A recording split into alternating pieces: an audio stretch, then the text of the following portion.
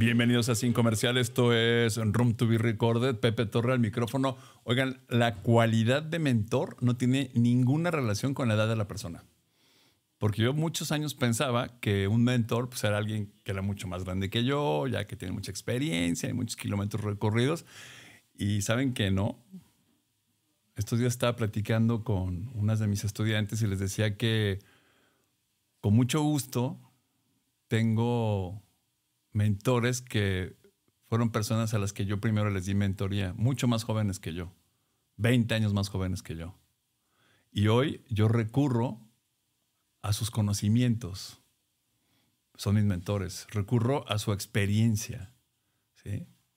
a sus ideas, porque ellos han, han recorrido su camino, tal vez no tan largo como el que yo he recorrido, pero es su camino, con sus diferencias. También me dan mentoría de acuerdo a su sistema de valores y creencias, a sus criterios, porque todo eso es lo que los califica para dar un gran soporte a otro ser humano, ¿sí?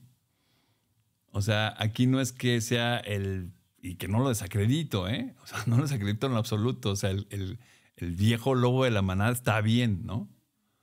Pero tengo estudiantes que lo han hecho maravillosamente bien, que son espectaculares y que, que tienen sabios consejos y que si uno se, se baja ahí del, del, pedestal, se baja del escalón, que de repente nos marea y los escucha, puede aprender mucho. Entonces yo creo que la cualidad de mentor tiene más que ver con la calidad humana de una persona y que además se da el tiempo de escucharnos y lo mejor de todo, se da el tiempo de compartir con nosotros para nutrirnos, para ponerse a nuestras órdenes, para ayudarnos, para cuidarnos y para compartirnos qué es eso que ellos saben que nos hace falta aprender a nosotros para seguir avanzando. Gracias por escucharme. Esto fue Room to be Recorded aquí en Sin Comercial. Hasta la próxima.